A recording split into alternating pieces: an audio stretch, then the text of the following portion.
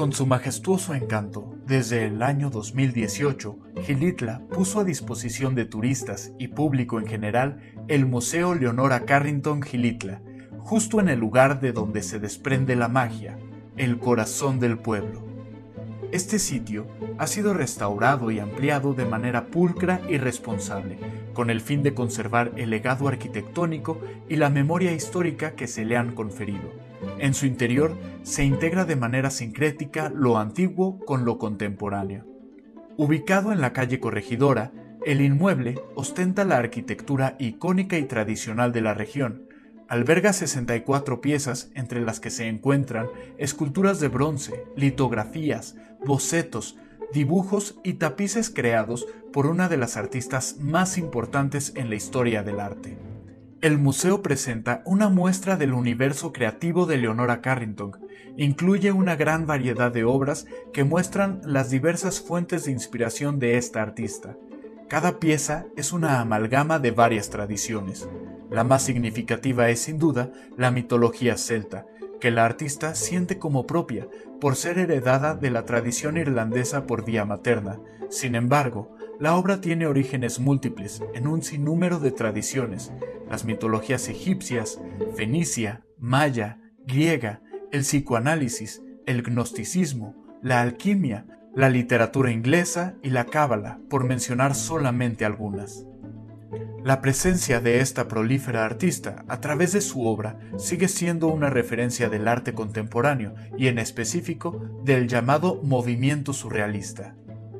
Rebelde y apasionada de la ruptura, transgresora de las corrientes tradicionales, su propuesta nos remite a la fecundación de seres imaginarios que las brujas celtas, en conjunción con los chaneques del México antiguo, invocaron, para convertirse hoy en vanguardia artística de nuestros tiempos, de ahí la atemporalidad de su creación.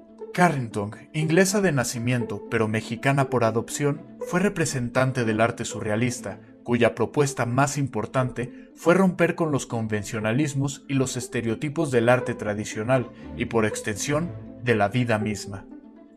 El surrealismo, inspirado en la teoría del inconsciente de Freud, propone convincentemente que detrás de lo irreal se encuentra lo real o verdadero, concepto que Carrington plasma magistralmente en sus obras, cuando el visitante del museo las contempla, podrá conectarse con ellas en plena libertad. Como la misma artista decía, yo las hice y ahí están para que ustedes las interpreten a su manera. Por su parte, el escritor mexicano Carlos Fuentes, en uno de sus textos, se refirió a ella como sortilegio irónico, parecen descripciones adecuadas para referirse al mundo de un artista que pobló su universo creativo de seres fantásticos, a medio camino entre animal y humano. Estos híbridos habitan paisajes cargados de un simbolismo vasto, que va de lo personal a lo cómico, alimentado por la lectura voraz de las mitologías del mundo, la alquimia y el gnosticismo. Ejemplo de esto lo podemos encontrar en las maravillosas piezas que resguarda este museo, por ejemplo, Stallion, escultura con forma de caballo en la que la artista plasmó su alter ego, o la impresionante Catwoman, primero tallada en madera y años después realizada en bronce, encargo de Sir Edward James en el año de 1951, con quien mantuvo una entrañable amistad gracias a la casualidad que los unió. Este azar reunió en Gilitla a dos grandiosos exponentes del arte surrealista, Carrington y James.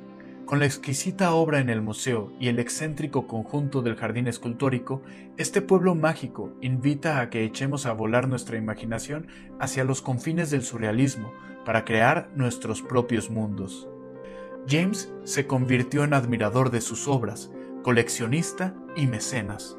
La amistad entre ambos dio como resultado estadías de la artista en las posas y en el castillo, residencia del inglés durante las estancias en Gilitla dejando obras que expresan una forma distinta de comprender la realidad. Leonora lo explica así. Cuando una belleza y fialdad, realidad y fantasía, horror y alegría no representa sino lo que somos, lo que no nos atrevemos a asumir porque nos da miedo, es más fácil y menos doloroso tomar conciencia de lo exterior, de la fachada, de los objetos concretos que nos tranquilizan, porque supuestamente son los poseedores de la realidad. A dos años de distancia, el Museo Leonora Carrington Gilitla ha desarrollado una intensa actividad de difusión cultural por medio de talleres, conferencias y conciertos, llegando a un gran número de gilitlenses, así como visitantes nacionales e internacionales. El Museo Leonora Carrington Gilitla es ya un referente identitario de este pueblo. La población lo ha hecho suyo y participan más en sus actividades de difusión y promoción cultural. Este proyecto ha contribuido a detonar una forma de turismo cultural muy importante para la economía y la proyección nacional e internacional de la Huasteca Potosina. Los propios jóvenes de Gilitla se han involucrado con entusiasmo en la tarea de dar a conocer y poner en valor el legado artístico de Leonora, siendo ellos quienes llevan de la mano a nuestros visitantes a adentrarse dentro de la obra de esta artista, así como del movimiento surrealista. Por azares dignos de calificarse de surrealistas, por la decisión sensible del gobernador del estado Juan Manuel Carreras López, la generosa contribución de Pablo Weiss Carrington y la dirección a cargo de la fotógrafa Emma Villano Gutiérrez, se ha dispuesto precisamente en Gilitla un museo para celebrar la obra de esta artista surrealista. Es así como las rutas de la novia del viento, como se le denomina con acierto a Leonora Carrington, llegan a Gilitla, trayéndose sus esculturas para un museo donde encontraremos los seres que pueblan nuestros sueños. Leonora Carrington es significativa para Gilitla, porque aquí se sintió cautivada por sus bellezas naturales. Además, celebró su amistad con Edward James y otros artistas de diferentes latitudes, no solo sintió la atracción por los paisajes de Gilitla y la Huasteca, sino que practicó lo que más amaba en la vida, que es la creación artística. Aquí en Gilitla plasmó los productos de su imaginación en los propios muros de lo que hoy conocemos como el castillo. Un museo consagrado a Leonora Carrington en este lugar no es por tanto un hecho casual, es un reconocimiento a la huella que dejó su presencia y su talento en este sitio. Por eso hoy es un día especial, un día de celebración, ya que por un lado, gracias al talento de Leonora, hoy San Luis Potosí, y en especial este pueblo mágico de Gilitla, brilla más en el horizonte como ese destino surrealista de México, a dos años de la apertura de este museo dedicado en su totalidad a esta gran artista singular.